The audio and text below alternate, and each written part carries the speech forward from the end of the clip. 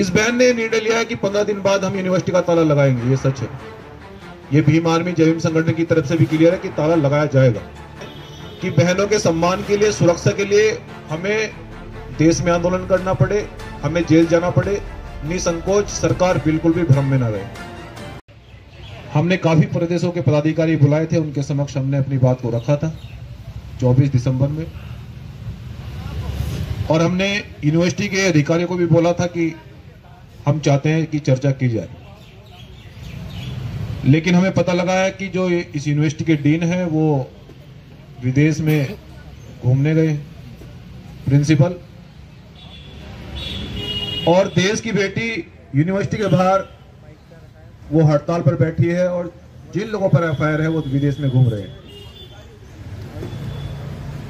ये कृत्य किस प्रकार से और कहाँ से किया जा रहा है, ये आप सभी लोग जानते हैं। और इसी के समक्ष में एक बात मुख्य रूप से देश की बेटियों को मुख्य रूप से कहना चाहता हूँ कि ये एक बेटी का सवाल नहीं।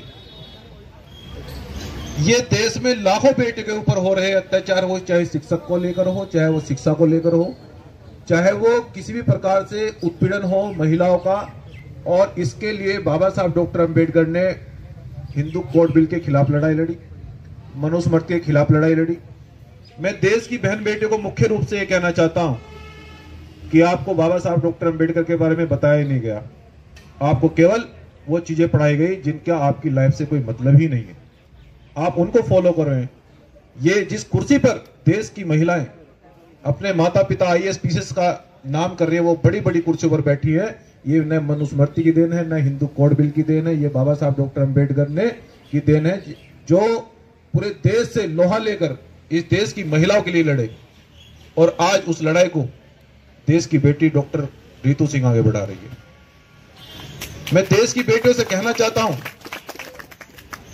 कि हमें इस धोखे में नहीं रहना है, कि हम इस दिन का इंतज़ार कर रहे हैं कि कब हमारा घर चले। मैं वही कह रहा हूँ कि लाखों बेटियों का मामला है। और जिस प्रकार से सरकार के द्वारा देश की बेटियों का उत्पीड़न किया जा रहा है, हम ये कहना चाहते हैं। देश की बेटियों की तरफ़ से मैं एक बात कहना चाहता हूँ, सब लोग कहते हैं कि भीम आर्मी के लोग थोड़ा कड़वा बोलते हैं, लेकिन मजबूरी है। मैं कहना चाहता हूँ कि कदमों में बैठकर कब तक न्याय मांगोगे? कदमों में बैठकर कब तक न्याय मांगोगे? वो लोग न्याय नहीं देंगे।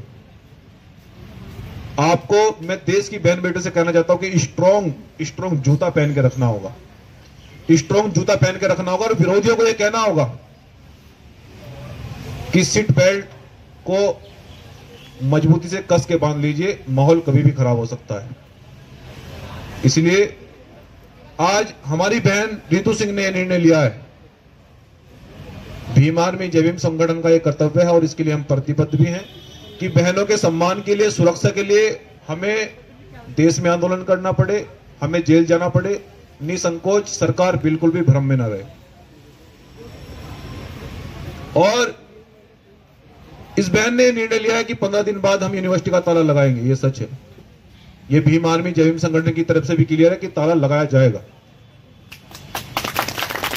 और अगर पंद्रह दिन के बाद भी अगर हमें न्याय नहीं मिलता है मैं देश के बहनों से भी और खासकर भाइयों से भी युवाओं से कहना चाहता हूँ, खासकर S C S T OBC, minority, आदिवासी, अल्पसंख्यक, मुस्लिम लोगों से।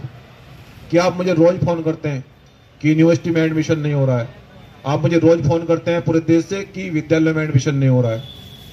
ये आपकी शिक्षा पर लगाम लगाना चाहते हैं, इसलिए तो यही है आपको मालूम है।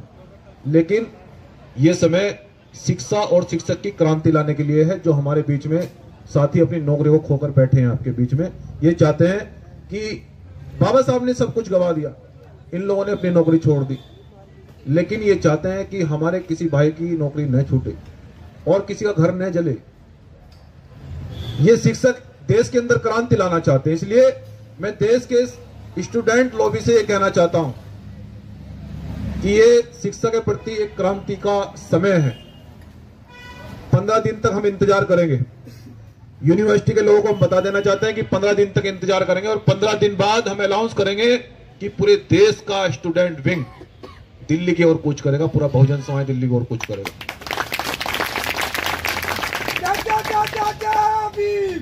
और इस दौरान मैं एक घोषणा और करता हूँ कि देश की जितनी भी यूनिवर्सिटियाँ हैं देश की जितनी भी यूनिवर्सिटियाँ हैं जिनमें S C S T OBC minority अल्पसंख्यक बच्चों का एडमिशन नहीं हो पाता है लेकिन संविधान में क्या लो है?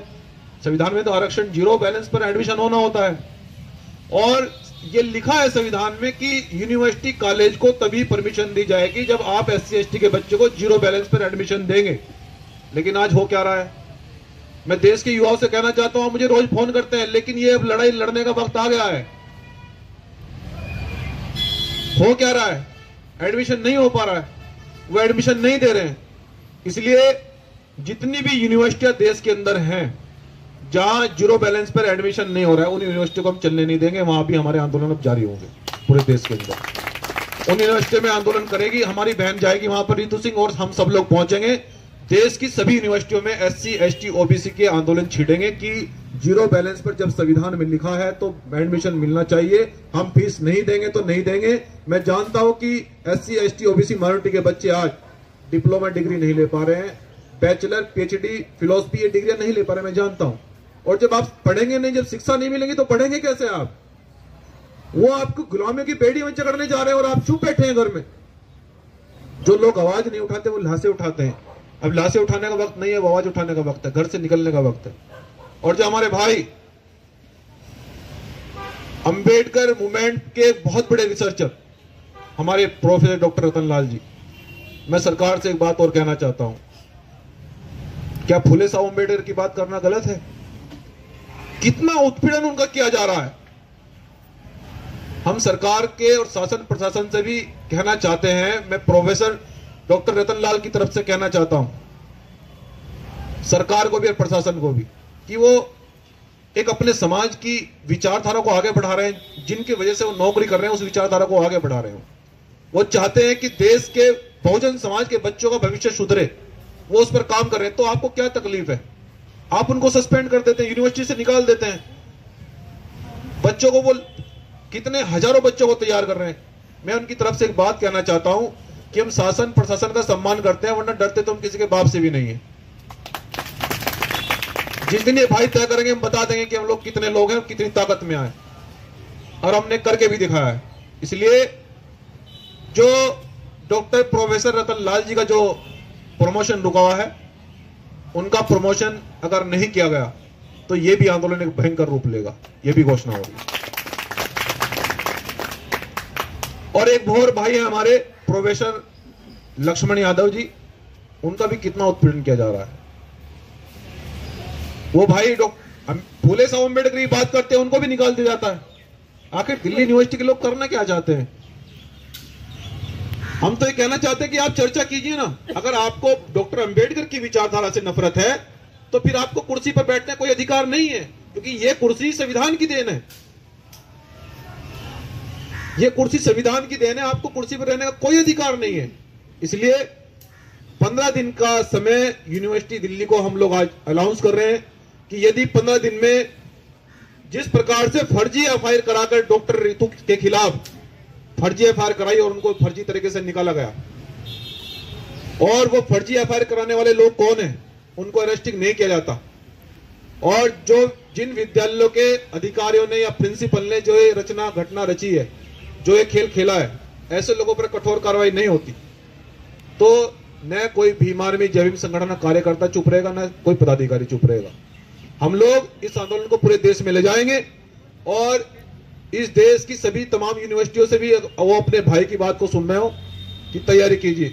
ये वक्त अब शिक्षा के प्रति क्रांति करने का आ गया है। क्योंकि मैं जानता हूँ कि नौकरियाँ नौकरियाँ कम मिलेगी। वो नौकरियाँ आपको शिक्षा ही नहीं दे रहे तो नौकरी कहाँ से मिलेगी आपको? और शिक्षा नहीं मिलेगी तो कैसे नौकरी मिलेगी आपको? तो मैं युवाओं से भी ये कहना चाहता हूँ कि तैयार रहिए। अब लड़ाई लड़ने का वक्त आ गया है। इसलिए सम्मानित साथियों, अब अपनी बात को हमारे बीच में बाकी हमारे साथी रखेंगे। मैं कहना चाहता हूँ अंतिम में कि इस मोमेंट के लिए और खासकर देश के शिक्षित और स्टूडेंट विंग के लिए मैं आज दिल्ली से वादा कर रहा हूँ। जितने S C S T OBC, minority के लोग बच्चों को स्कूलों में, विद्यालयों में, यूनिवर्सिटी में दाखिला नहीं दिया जा रहा है। कि आपका भाई आपकी लड़ाई को, आपके शिक्षा की लड़ाई को मरते दम तक लहू का जब तक आखिरी कतरा रहेगा लड़ा जाएगा। जय भीम जय संविधान।